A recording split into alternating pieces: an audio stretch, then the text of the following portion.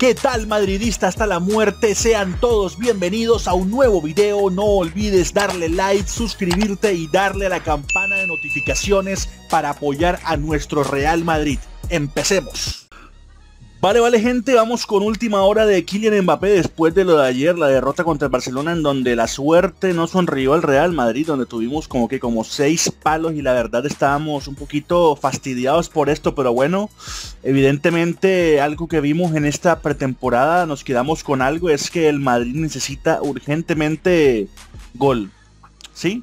A pesar de que ganamos contra United y contra el Milán nos falta alguien arriba, referente total, que meta gol. Y lo otro es que ese esquema 4-4-2, sí, es muy bonito y todo, pero la realidad es otra. Poquitos equipos en el mundo utilizan ese esquema y es por algo. O sea, el que nos ha dado alegría a nosotros es el 4-3-3. Además, Vinicius totalmente desperdiciado en ese esquema de juego, es lo que hay. O sea, Vinicius se desperdicia tanto con ese esquema de 4-4-2. O sea, Vinicius tiene que ser extremo izquierdo y punto, en serio. Pero bueno, Vamos a poner Mbappé. A ver. Eh, información del diario AS. Mbappé está teóricamente descartado del proyecto de Luis Enrique. ¿Vale? Ahí está. Eh, eso es algo que ya sabemos. Prácticamente Kylian, nadie cuenta con él en el PSG. Obviamente hay muchas razones para también Mbappé irse. Esto no gana en Champions ni cagando. En fin, Mbappé teóricamente descartado del proyecto de Luis Enrique, información del diario AS. Vamos aquí, eh, dicen no hagáis más caso a tonterías, primero que si los árabes con 400 millones y ahora el Liverpool de Europa League cedido, nada de nada, Mbappé solo va a ir al Madrid tranquilidad. Sí, porque están diciendo de que supuestamente el Liverpool se va a llevar Mbappé cedido.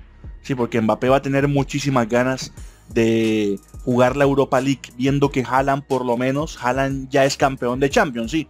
Mbappé se muere por jugar la Europa League, gente, sí, claro. Sigan inventándose cosas. En fin. En, ah, miren lo que dijo Dani Carvajal ayer. Barcelona no es, no es plato de buen gusto, pero hay que saber el, momento en el que estamos, lo que significa el partido. Estoy convencido de que competición oficial les vamos a pasar por, por encima. Estoy en varias ocasiones, cinco palos, hemos fallado un penalti. Que estén tranquilos que, que cuando llegue la hora de la verdad les, les pasaremos por encima. Ojo, lo que dijo Carvajal. Cuando llegue la hora de verdad, partidos oficiales, le vamos a pasar por encima al Barcelona. Wow. Yo no esperaba que dijera eso Carvajal, ¿eh? Pero sí tiene razón, o sea, un amistoso de los barcelonistas pareciese que hubieran ganado una, una final de Champions, por como lo están celebrando en las redes sociales. Están celebrando como si hubieran ganado una final de Champions los barcelonistas. Pero en fin, bueno, obviamente un clásico hay que ganarlo, yo siempre lo quiero ganar, pero esta gente está celebrándolo como si fuese ganar una final de Champions, en fin. A ver, vamos con la información de François Gallardo. François Gallardo ha hablado y ha dicho lo siguiente.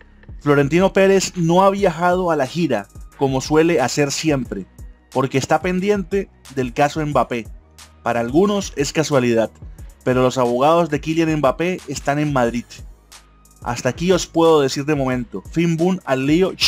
Dice François Gallardo en su cuenta de Twitter que los abogados de Mbappé están ahora mismo en Madrid. Un domingo. Me toque los cojones, François. Domingo, que hace un domingo los abogados de Mbappé en Madrid. Madre mía. Ojalá sea cierto.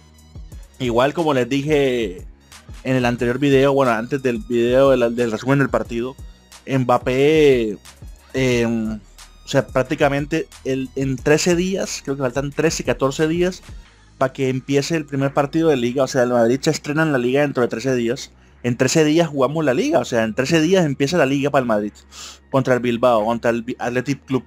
Entonces Mbappé eh, ya no es como antes de que no faltan, faltan la próxima semana, que en dos semanas, no, no, no, ya, no puede suceder eso. El Madrid tiene que fichar a Mbappé antes de que empiece la liga. Eso es lo que hay que hacer. Porque si no lo hacen, yo no sé qué, me meten, me meten preso a mí, me tienen que meter preso porque me voy a volver loco. ¿Vale? Estoy harto de jugar si uno 9 arriba, en serio. Estoy harto de jugar sin un... O sea, Mbappé no es un 9, pero es, es todo, es todo. Te puede jugar de 9, tiene, alma de 9. ¿Vale? Pero estoy harto sin, de jugar sin un referente arriba, en serio.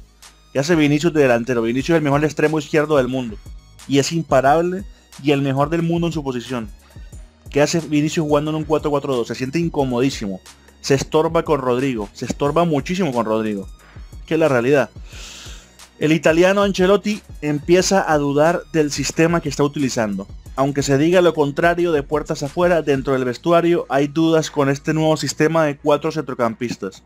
Este 4-4-2 es un sistema que limita muchísimo a Vinicius, que juega totalmente fuera de posición al verse obligado a jugar más por dentro. Compromete al equipo defensivamente y aunque hay que trabajarlo, Ancelotti no va a tener mucho tiempo, porque en dos semanas arranca la liga y el equipo tiene que estar listo. Es por este motivo que Ancelotti ha empezado a dudar de él, incluso se está planteando volver al 4-3-3, el sistema que mejor resultado le ha dado al Real Madrid. Si llega Mbappé la duda quedará, quedará resuelta y se abandonará el 4-4-2 en rombo, que hoy en día casi en Europa nadie usa. Queda claro que la llegada del francés haría las cosas mucho más fáciles a Carleto, ya que sería ideal para volver a ese sistema que tantas alegrías nos han dado, así es. Igual si llega Mbappé, o sea, no hay dudas, va a ser eh, Vinicius, Mbappé y Rodrigo arriba, como veníamos diciendo.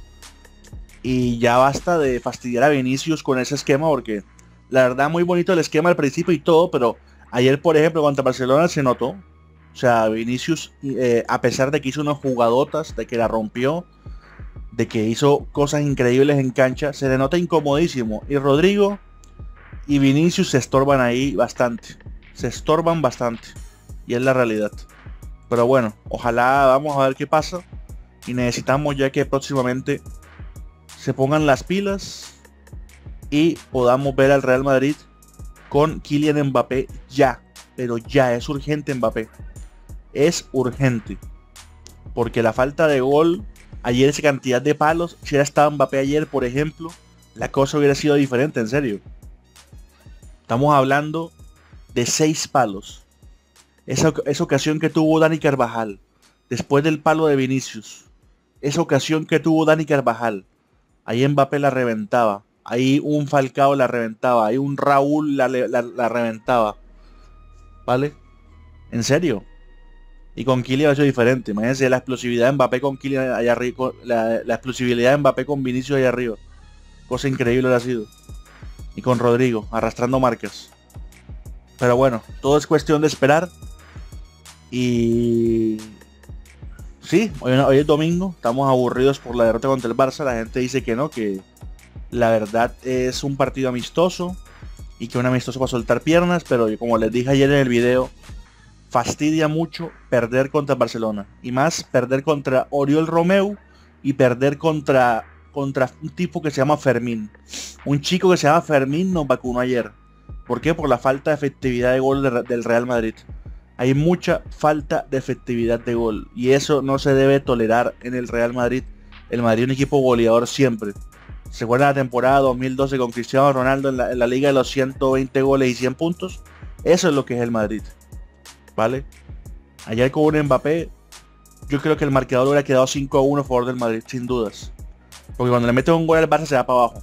Se viene abajo el Barça. Le metes un gol al Barça y se, viene abajo. No es como el Madrid que le metes un gol y se viene arriba. Entonces ayer nos faltó eso. Pero bueno, nada sirve llorar sino esperar a que fiche este hombre. Cuando se le dé la gana a Florentino y al Madrid. Saludo madre, dice hasta la muerte. No olviden suscribirse al canal, darle me gusta al video y por favor darle campana de notificaciones para que le lleguen todos los videos gente muy importante y nos estamos hablando. Este canal es puramente del Real Madrid. Si te ha gustado el video, no olvides suscribirte y darle me gusta al video. Dale por favor a la campanita de notificaciones para que te lleguen todos los videos si eres un madridista hasta la muerte.